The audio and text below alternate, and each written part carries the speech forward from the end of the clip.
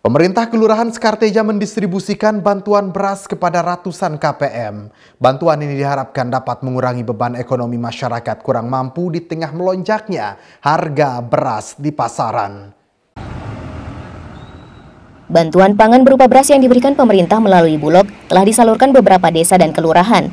Seperti yang terlihat di kantor Lurah Sekarteja, ratusan KPM terlihat mengantre mendapatkan beras di depan kantor Lurah. Berdasarkan keterangan Lurah Skarteja Sukarma, bantuan beras ini menyasar KPM PKH maupun BPNT. Berdasarkan data yang ada, jumlah KPM yang mendapatkan bantuan ini sebanyak 984 orang. Bantuan pangan ini merupakan tahap kedua alokasi 2024 dari Bulog Lombok Timur. Pemerintah kelurahan berharap dengan adanya bantuan ini dapat membantu mengurangi beban ekonomi masyarakat di tengah melonjaknya harga kebutuhan pokok berupa beras di pasaran. Bantuan semacam ini juga diharapkan terus diberikan kepada masyarakat, khususnya bagi masyarakat kurang mampu.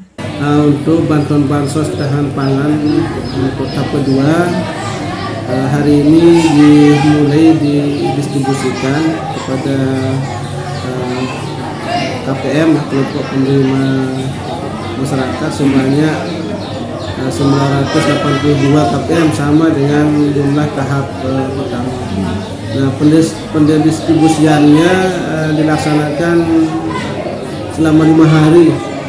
Jadi mulai dari hari ini Jumat tanggal 23 Februari 2024 uh, sampai dengan hari Rabu tanggal 28 2000 Februari 2024. Selain bantuan beras, pemerintah juga tengah memasifkan pendistribusian beras melalui operasi pasar yang dilakukan Bulog. Upaya ini dilakukan untuk menekan harga beras yang beberapa bulan terakhir terus mengalami lonjakan harga.